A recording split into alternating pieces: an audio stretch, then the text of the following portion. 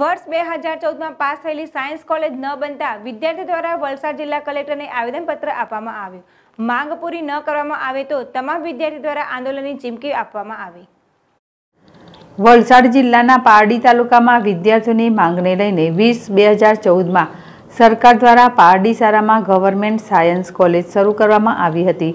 ત્યારબાદ વિદ્યાર્થીઓની સંખ્યા વધતા આ કોલેજ પારડી ખાતે આવેલ જૂની મામલતદાર કચેરીમાં ખસેડાઈ હતી. મામલતદાર કચેરીમાં જર્જરિત હાલતમાં થતા વિદ્યાર્થીઓ દ્વારા નવી સરકારી કોલેજની માંગ કરવામાં આવી હતી. જો કે સરકાર દ્વારા વિદ્યાર્થીઓના હિતમાં નવી કોલેજની મંજૂરી આપી દેવામાં આવી હતી.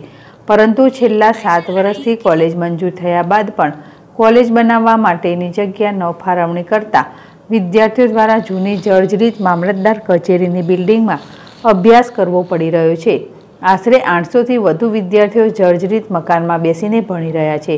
ત્યારે આજ રોજ સાયન્સ કોલેજના વિદ્યાર્થીઓ તથા એબીવીપી દ્વારા વલસાડ જિલ્લા કલેક્ટરને આવેદનપત્ર આપવામાં આવ્યું હતું. નવી કોલેજના મકાન માટે સરકાર દ્વારા સર્વે કરી જગ્યાની ફાળવણી કરવામાં આવે એવી માંગ કરવામાં આવી હતી.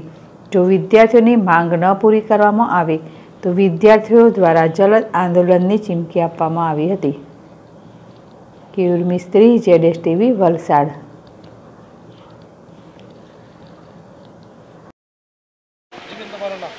સુરભી સંજય કુમાર એરુનકર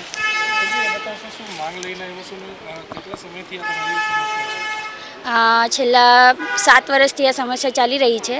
પહેલે પણ અમે લોકોએ આવેદન આપ્યું હતું પણ એનું કંઈ રિસ્પોન્સ નથી આવ્યું.